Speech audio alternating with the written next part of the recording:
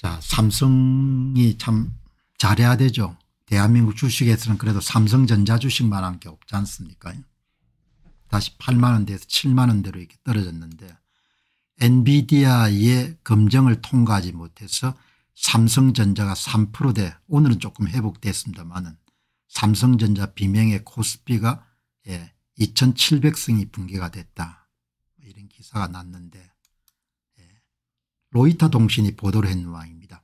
삼성전자가 엔비디아의 검증을 받고 있는 고대역풍 메모리 그러니까 엔비디아를 테스트를 통과하지 못했는데 로이타가 보도하기로는 발열 문제하고 전력의 과다 소비 문제 때문이다.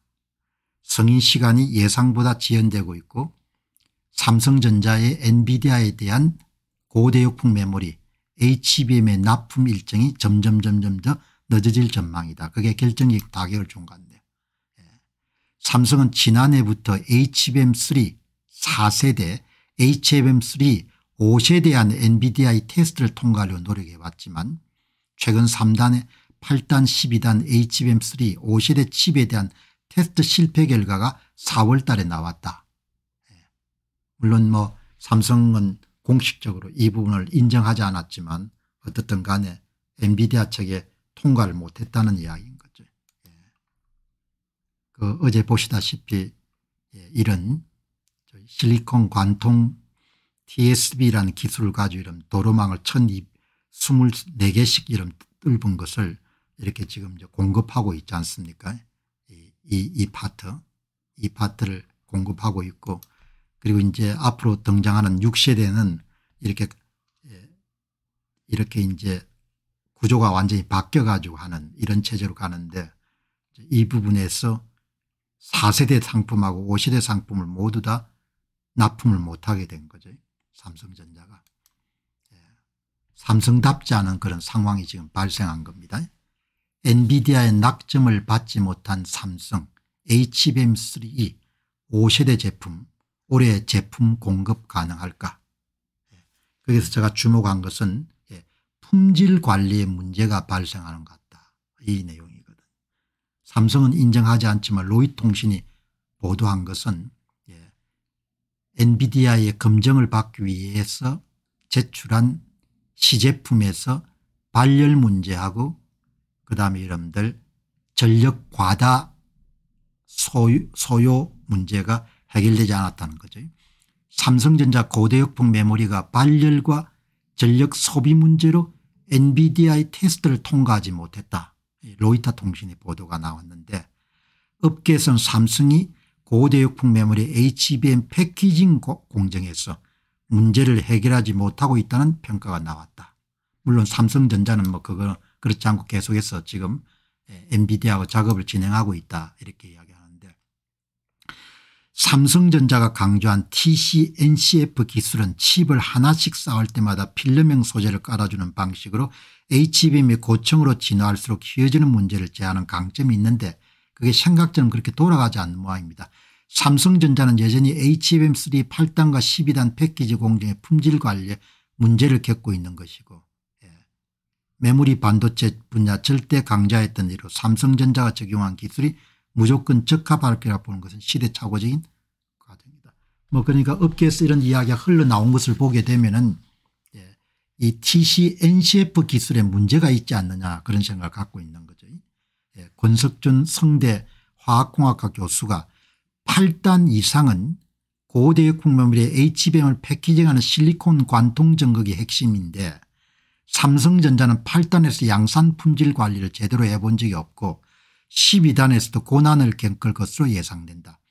삼성전자가 현재 사용하고 있는 TC-NCF 계열은 원리상 여러 층으로 갈수록 유리하긴 하지만 생각보다 패키징의 수율이 잘 잡히지 않아 고단으로 가는 것이 쉽지 않은 상황이다.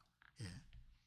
바로 엊그제 SK 하이닉스의 여러분들 그 수장이 파이낸셜 타임스하고 여러분들 인터뷰에서 수율을 공개했지 않습니까 자신이 있다는 이야기죠.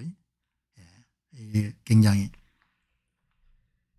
성대 교수가 지적한 부분들이 삼성전자는 HBM 외에도 전통적으로 1등 지위를 요구하던 DDR5와 같은 선단 디램 분야에서도 수율이 전화되는 등 예저 같은 모습을 보이지 못하고 있다. 삼성전자의 HBM3 5세대 샘플의 전력 사용량이 SK 하이닉스보다 두배 이상 많아서 여러 고객사가 문제를 제기했다는 얘기가 지난달부터 돌았다. 삼성 HBM3 5세대의 발열과 전력 소모량 문제로 전력 대비 성능이 너무 낮다는 지적이 제기되고 있다. 기술적 문제가 있는 것 같네요. 예. 그러니까 그동안 한간에 이제 계속해서 이제 단신 기사로 보도됐던 내용들이 확인이 되는 겁니다. 예. 주식시장이 그대로 반영되지 않습니까 하이닉스가 지금 20만 원대를 음, 돌파했는데 삼성이 전자가 지금 8만 원 데서 7만 원대로 내렸지 않습니까 예. 이렇게 여러분들 돌아가는 거죠. 또 여기 보시게 되면 뭐 그런 것도 있을 겁니다. 이면을 볼 줄 알아야 되겠습니다. 엔비디아가 하이닉스로부터 독점적만 받다면 가격 조정이 가능할까요 물론 예, 당연히 삼성전자에서 이원화하겠죠. 그런데 지금 지체가 되고 있으니까 예, 지체가 되고 있는 이유는 가격 협상용일 수 있지만 이런 발열과 전력 소모 문제를 해결을 못한 문제가 되는 거죠. 예. 이렇게 여러분들 되는 거죠. 예. 이제 가한도란 님이 잘 의견을 남기셨는데 SK가 2014년부터 고대역폭 메모리 개발에 나섰고 삼성도 따라 나섰지만 2019년 삼성이 팀을 해체한 것이 지금의 기술 격차를 낳았습니다. 한 발 앞서서 SK와 대만 반도체가 주도하는 엔비디아 AI 반도체 삼성이 조만간 fast follower의 모습을 보이리라 생각합니다. logic die packaging capa 등의 삼성이 장점이 있습니다. 직접 예, base logic die를 만들 수 있으니까 대만계가 주도하는 대로 끌려가면 타도 삼성 이후에 답이 없습니다. 삼성이 모바일 기기에 사용하는 application processor인 자체 application processor인 엑시노스가 고질적 발열 문제를 해결하고 갤럭시 S24에 성공적으로 부활한 것을 보게 되면 HBM에서 결코 뒤처지지 않다 뒤처져 있다고 보지 않습니다. 어쨌든 현재로서 뭡니까 납품 결정이 기대한 대로 그렇게 순식간에 진행이 안 되니까 이런 이야기가 흘러나오는데 오늘 제가 비중 있게 다룬 것은 업계 전문가들의 의견들이 계속 나오고 또 성균관대학교 여러분들 화학공학과 교수님의 이야기가 나왔기 때문에 오늘 그러니까 결론적으로 보게 되면 HBM 4세대 5세대 제품을 하나도 엔비디아는 제품 공급을 못한 겁니다. 삼성전자가. 그리고 그 시기가 계속 늦어지고 그러니까 만일 제품에 전혀 하자가 없었으면 가격 내고를 해가지고 엔비디아도 여러분들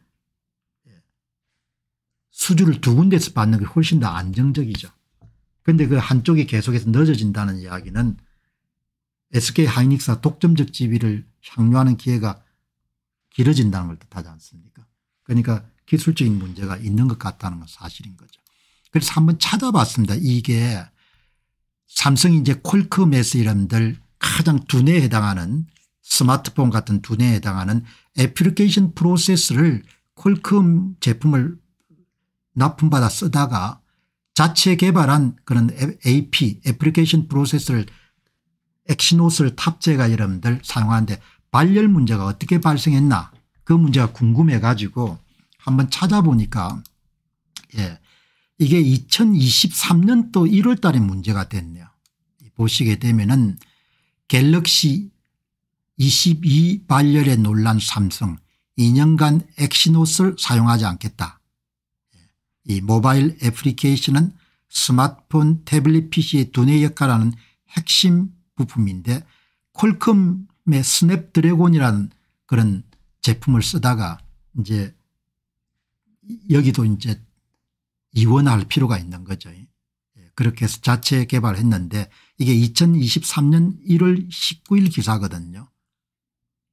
예, 그래 이제 S22에 S23하고 24에서는 일체 엑시노스 쓰지 않고 퀄컴 여러분들 AP만 사용하다가 예, 이 모바일 AP는 연산 기능을 담당하는 CPU, GPU, 인공지능 영상을 맞는 NPU와 통신 모뎀 고스동 이미지 처리 장치 등 하나의 칩에 포함하는 시스템 반도체 예, 가장 중요한 그런 기능을 수행하는 거죠.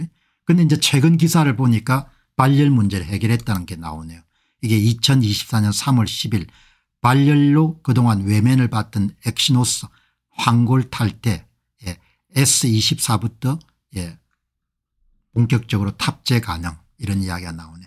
자체 스마트폰 application processor 엑시노스 S24 시리즈에 탑재되면서 예, 올해부터는 출하량이 늘어날 것 같다.